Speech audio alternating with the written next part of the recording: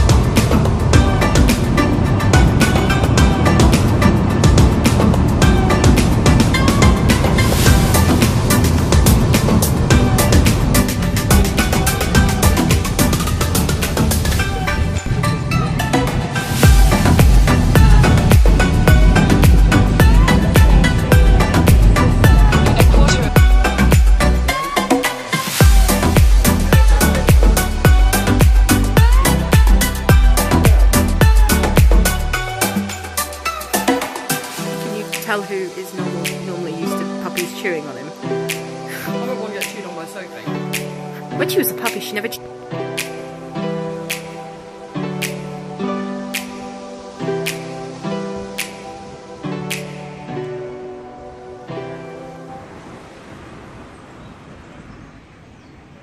Tries to be sarcastic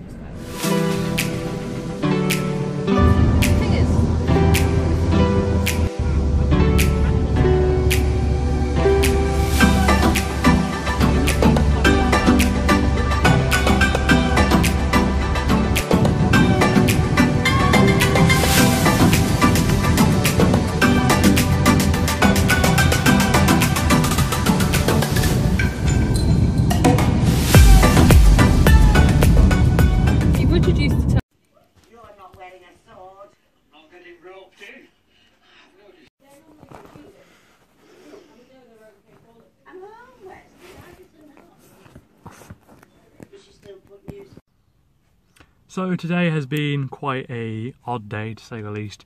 Uh, we're here in Farnborough, we're currently on the retail park. Um, there was a couple of issues with our hotel room.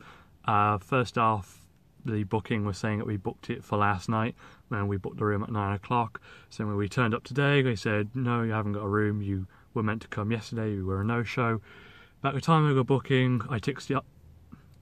but at the time of the booking, I ticked the option to be texted the confirmation. That never came through. And when we didn't show up, when we were a no-show yesterday, they didn't call us to ask where we were. So we came today. We didn't have a room, so there's nothing I could do at the hotel. They gave us a number. The first person hung up on us, and then we were just passed through department to department. And then we finally got through to somebody who actually wanted to help us actually sorted out a room within minutes, literally minutes. So we got the room sorted and changed to today. Uh, we will be staying an extra night, but we'll be going to a different hotel. as well as the booking issue, uh, the hotel key cards weren't working either, so I had to go downstairs twice because we couldn't get we couldn't get into our room.